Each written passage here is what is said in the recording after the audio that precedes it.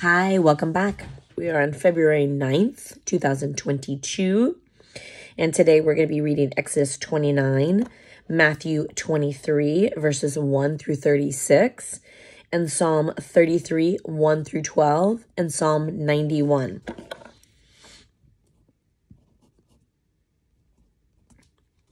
We're going to begin with prayer.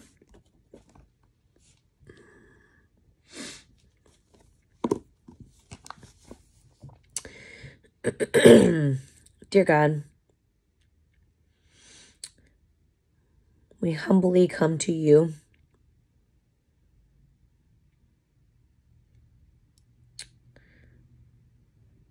We love you, Lord. We praise you and we thank you.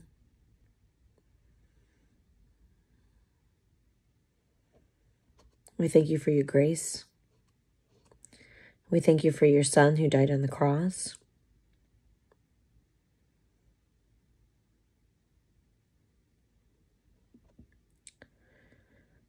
We thank you for your desire to have a relationship with us.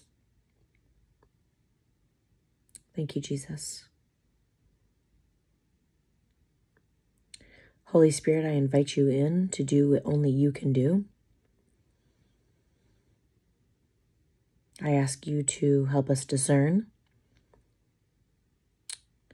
today's reading, your word,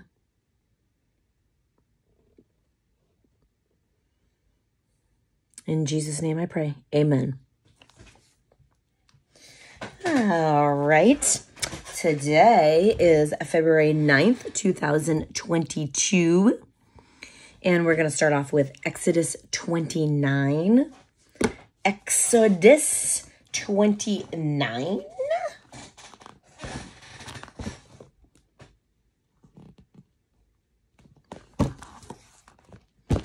And this is consecration of the priests. We're doing just 29. Yes, 29. This is what you are to do to consecrate them, so they may serve me as priests. Take a young bull and two rams without defect. And from fine wheat flour without yeast, make bread and cakes mixed with oil and wafers spread with oil. Put them in a basket and present them in it, along with the bull and the two rams. Then bring Aaron and his sons to the entrance to the tent of, of meeting and wash them with water. Take the garments and dress Aaron with the tunic, the robe of ephod, the ephod itself, and the breastpiece. Fasten the ephod on him by its skillfully woven waistband. Put the turban on his head and attach the sacred diadem to the turban. Take the anointing oil and anoint him by pouring it on his head. Bring his sons and dress them in tunics and put headbands on them. Then tie sashes on Aaron and his sons. The priesthood in their is theirs by a lasting ordinance. In this way you shall ordain Aaron and his sons. Bring the bull to the front of the tent of meeting, and Aaron and his sons shall lay their hands on its head. Slaughter it in the Lord's presence at the entrance to the tent of meeting. Take some of the bull's blood and put it on the horns of the altar with your finger and pour out the rest of it at the base of the altar.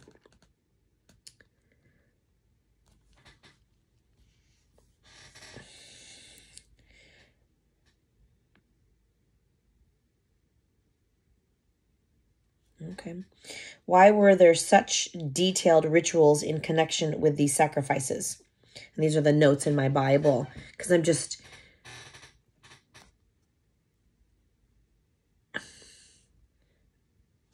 I don't know the I, I haven't read through the whole entire Bible, but I know that we don't do ritualistic killings today, or at least in our society, we don't do that. I don't know that if it goes on today. Um, but I'm just so curious to why and what was the meaning.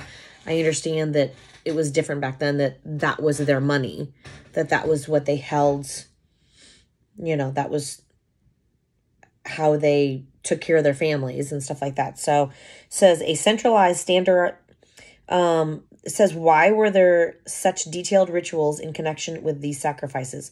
Partly it was for quality control. I thought that was very interesting. So they wanted it done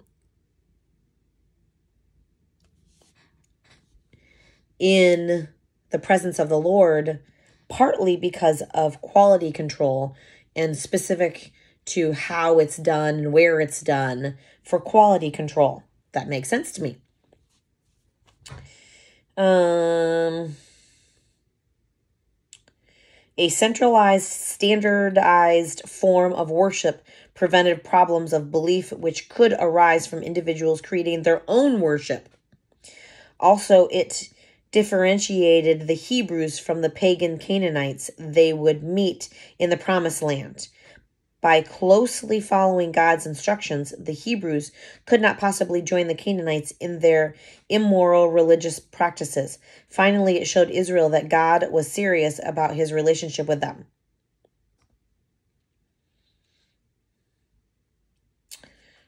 So then that makes me think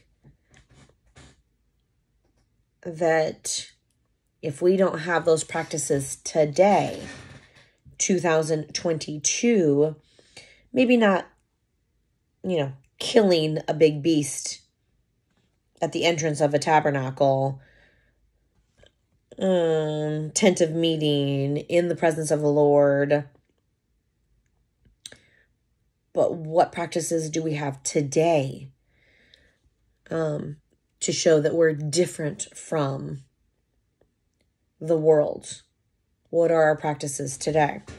I'm not going to get off too much, but that just I, I had to stop and I had to read down there, and I thought it was interesting because I didn't even think about the quality control, and, and then I continued to read. So, uh, let's see. That was take some of the bull's blood and put it on the horns of of the altar with your finger and pour out the rest of it at the base of the altar.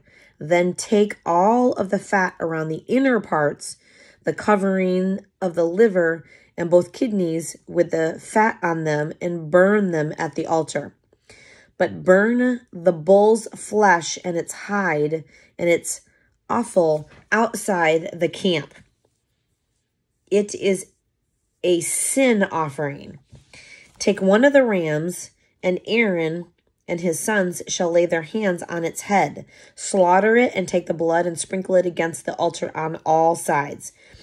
Cut the ram into pieces and wash the inner parts and the legs, putting them with the head and the other pieces. Then burn the entire ram on the altar.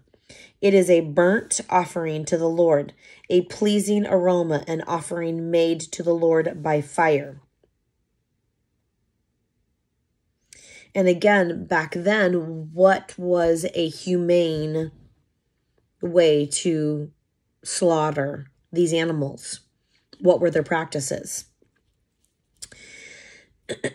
Take the other ram, and Aaron and his sons shall lay their hands on its head. Slaughter it, take some of its blood, and put it on the lobes of the right ears of Aaron and his sons, on the thumbs of their right hands, and on the big toes of their right feet. Then sprinkle blood against the altar on all sides. And take some of the blood on the altar and some of the anointing oil and sprinkle it on Aaron and his garments, and on his sons and their garments then he said, then he and his sons and their garments will be consecrated. And do we not do that because this is the Old Testament and Jesus died on the cross for our sins and we live by grace now and we don't have to do all of these ritual things? Again, I don't know all the Bible. I'm, I'm going to learn a lot this year reading through the Bible. Um, did I grow up missing something that wasn't taught to me that is in here in the Bible that we're supposed to be doing today that we're not doing. I don't know. Take from this ram the fat, the fat tail, the fat around the inner parts, the covering of the liver, both kidneys with the fat on them, and the right thigh. This is the ram for the ord- ordination. From the basket of the bread made without yeast, which is before the Lord, take a loaf and a cake made with oil and a wafer. Put all these in the hands of Aaron and his sons and wave them before the Lord as a wave offering. Then take them from their hands and burn them on the altar along with the burnt offering for a pleasing aroma to the Lord, an offering made to the Lord by fire. After you take the breast of the ram for Aaron's ordination, wave it before the Lord as a wave offering. Now, do wave offerings exist today? I've never heard of a wave offering. And it will be your share. Consecrate those parts of the ordination ram that belong to Aaron and his sons, the breast that was waved and the thigh that was presented. This is always to be the regular share from the Israelites from Aaron and his sons. It is the contribution the Israelites are to make to the Lord from their fellowship offerings. Aaron's sacred garments will belong to his descendants so that they can be anointed and ordained in them. The son who succeeds him as priest and comes to the tent of meeting to minister in the holy place is to wear them seven days. Take the ram for the ordination and cook the meat in the sacred place, in a sacred place. At the entrance to the tent of meeting, Aaron and his sons are to eat the meat of the ram and the bread that is in the basket. They are to eat these offerings by which atonement was made for their ordination and consecration. but no one else may eat them because they are sacred. And if any of the meat of the ordination ram or any bread is left over till morning, burn it up. It must not be eaten because it is sacred. Do for Aaron and his sons everything I have commanded you, taking seven days to ordain them. Sacrifice a bull each day as a sin offering to make atonement purify the altar by making atonement for it, and anoint it to consecrate it. For seven days, make atonement for the altar and consecrate it. Then the altar will be most holy, and whatever touches it will be holy. This is what you are to offer on the altar regularly each day. Two lambs a year old. Offer one in the morning and the other at twilight. With the first lamb, offer a tenth of an ephah of fine flour mixed with a quarter of a hin of oil from pressed olives and a quarter of a hin of wine as a drink offering. Sacrifice the other lamb at twilight with the same grain offering and its drink offering as in the morning, a pleasing aroma, an offering made to the Lord by fire. For the generations to come, this burnt offering is to be made regularly at the entrance of the tent of meeting before the Lord. Now, when it says in here, for the generations to come, this burnt offering is to be made regularly at the entrance to the tent of meeting before the Lord. Does that mean in 2022 that we're supposed to be doing some of these things? Because it's been mentioned for generations to come. For the generations to come, this burnt offering is to be made regularly at the entrance of the tent of meeting before the Lord. Well, what is the tent of meeting today? Does the tent of meeting today exist? Again, this might be a totally ignorant question for someone else that's watching this and following along, reading through their Bible that knows the Bible. And they're like, No, silly. I don't know. I'm just asking. I'm trying to understand as I'm reading through the word and learning more about our history. And if I'm supposed to be doing something today, I I want to try to obey. I want to be be obedient to my Lord. So just asking. Do you know? If you do, message me. Let me know. Uh, let's see. I'll just read that. Uh, For the generations to come, this burnt offering is to be made regularly at the entrance to the tent of meeting before the Lord. There I will meet you and speak to you. There also I will meet with the Israelites and place and the place will be consecrated by my glory because my God doesn't change. My God today is the same God of this. Back then, it's he doesn't change. So because this world is Satan's world, are things hidden from us that we're supposed to be doing, that we're supposed to be saying, are we not doing them and therefore we're not being obedient? So I will consecrate the tent of meeting and the altar, and I will consecrate Aaron and his sons to serve me as priests. Then I will dwell among the Israelites and be their God.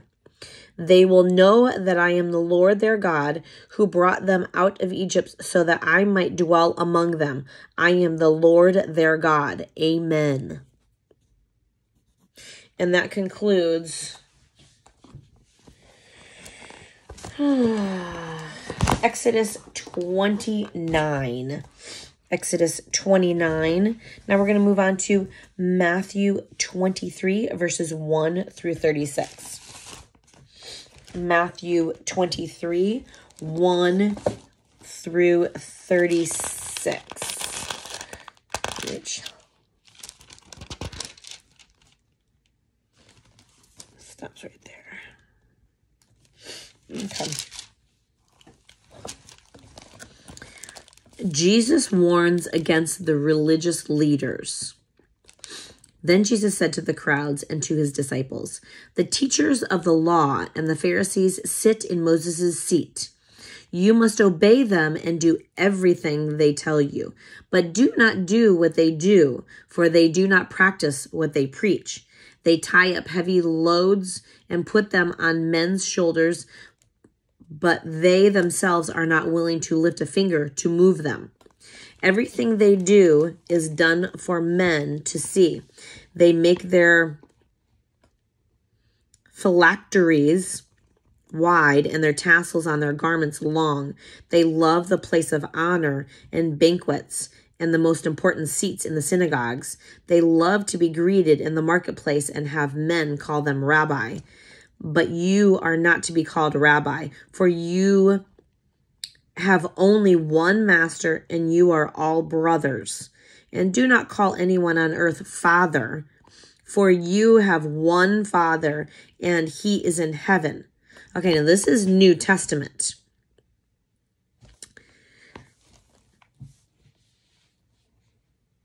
And do not call anyone on earth father, for you have one father, and he is in heaven. Hmm.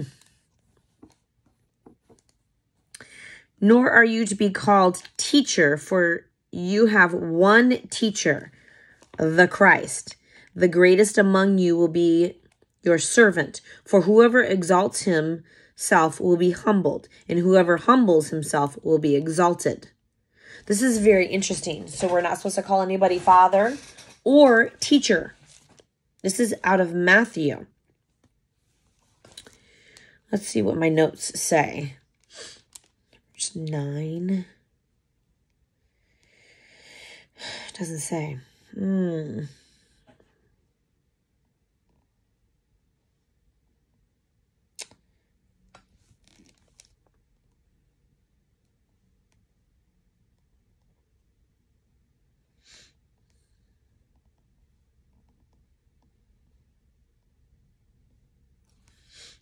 Mm, it doesn't talk about that specifically.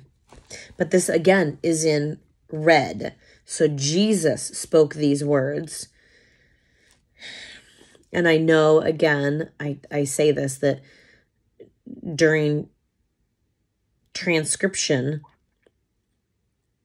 that words could have been lost, meanings could be shifted, but God's word is holy and living, it is alive.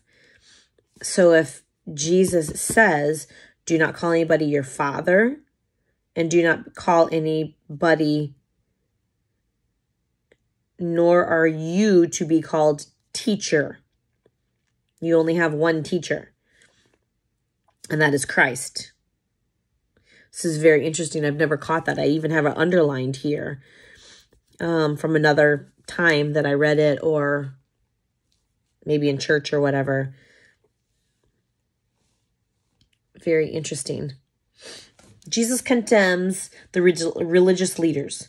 Woe to you, teachers of the law and Pharisees, you hypocrites! You shut the kingdom of heaven in men's faces. You yourselves do not enter, nor will you let those enter who are trying to. Woe to you, teachers of the law and Pharisees, you hypocrites! You travel over land and sea to win a single convert. And when he becomes one, you make him twice as much as a son of hell as you are.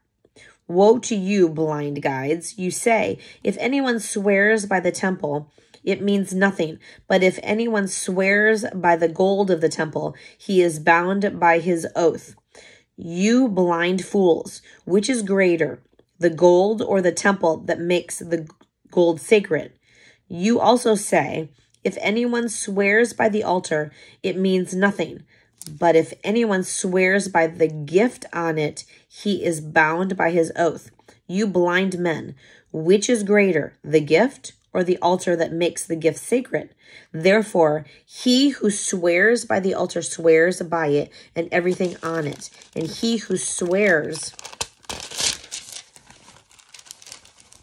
by the temple swears by it and by the one who dwells in it. And he who swears by the heaven swears by God's throne and by the one who sits on it.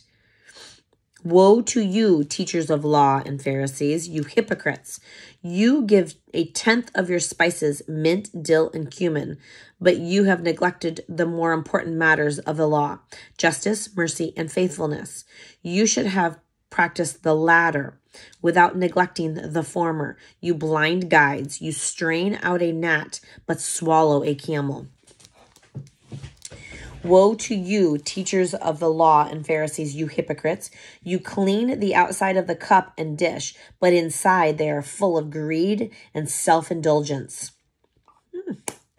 Blind Pharisee, first clean the inside of the cup and dish, and then the outside will be clean.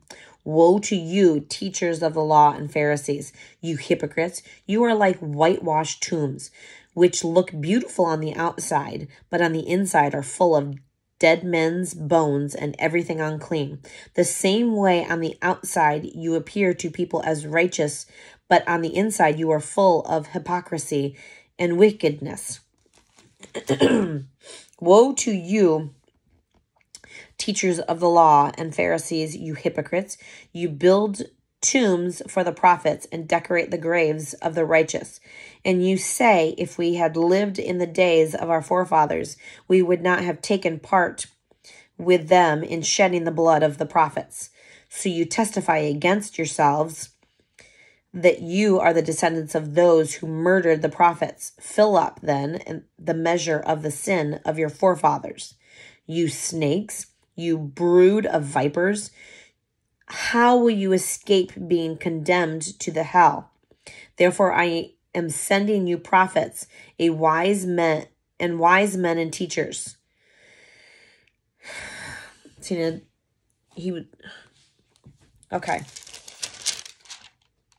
He just said, now am I thinking too literally? He just said, do not call, be called teachers. And then he says in chapter uh, verse 34 I am sending you prophets and wise men and teachers.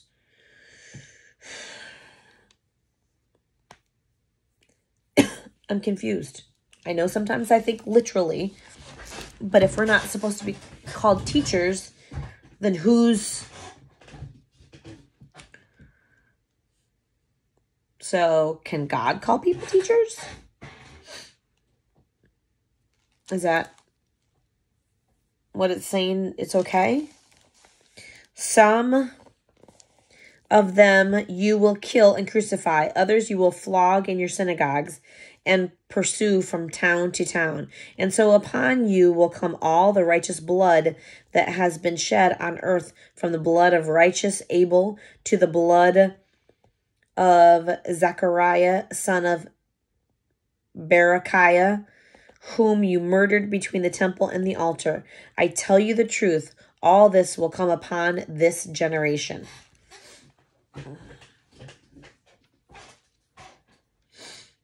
Mm, and that concludes our Matthew 23.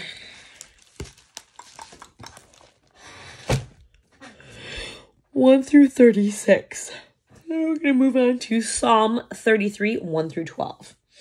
Psalm 33, 1 through 12.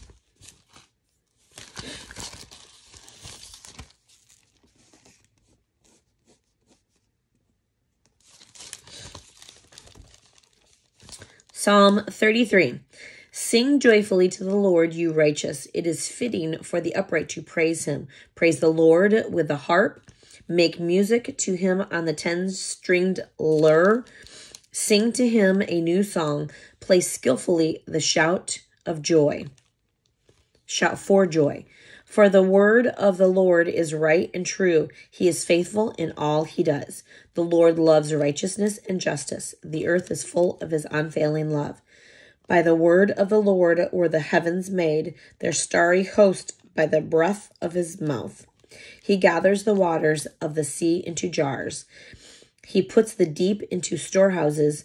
Let all the earth fear the Lord. Let all the people of the world revere him. For he spoke, and it came to be. He commanded, and it stood firm. The Lord foils the plans of the nations. He thwarts the purposes of the of the peoples. But the plan of the Lord stand firm forever.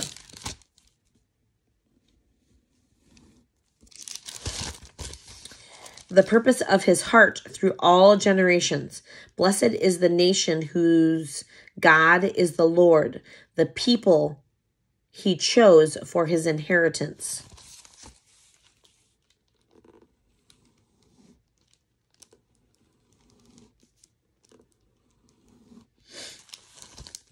Okay. And Psalm 91, our fave, Psalm 91. He who dwells in the shelter of the Most High will rest in the shadow of the Almighty. I will say of the Lord, He is my refuge and my fortress, my God in whom I trust. Surely he will save you from the fowler's snare and from the deadly pestilence. He will cover you with his feathers, and under his wings you will find refuge.